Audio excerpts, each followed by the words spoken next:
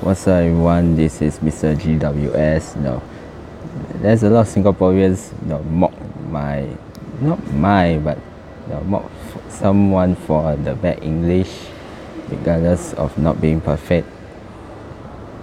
You know, especially the words like never fails to disappoint me. It's like saying like, you know, like they still disappoint me time and time again. That's what what it really means though.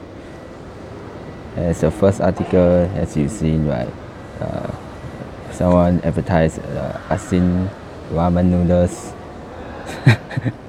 it says like, TVH though, Ajisen ramen never to disappoint me too with their shit food prices.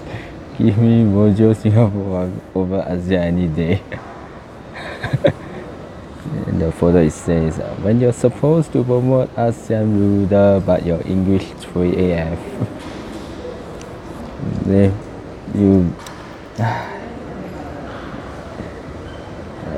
real influencer. I don't even consider myself as an influencer because you know my English is still very bad.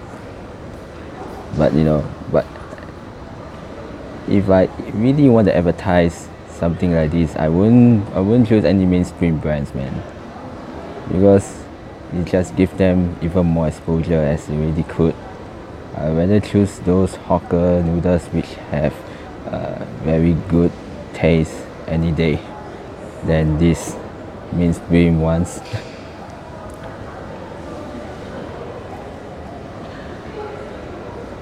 and of course they already you know, so-called apologize about those grammar mistakes.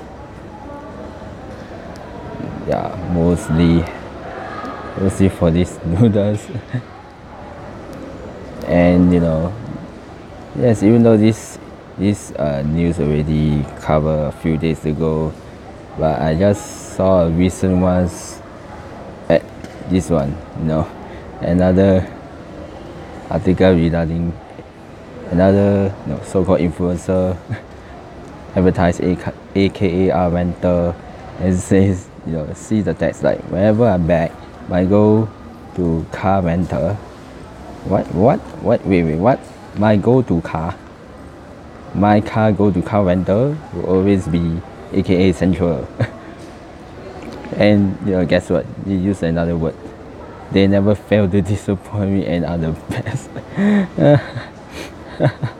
Seriously oh my god this is I think this is a very bad example. Having us having a fail and worst way to advertise uh, whatever things it is you know.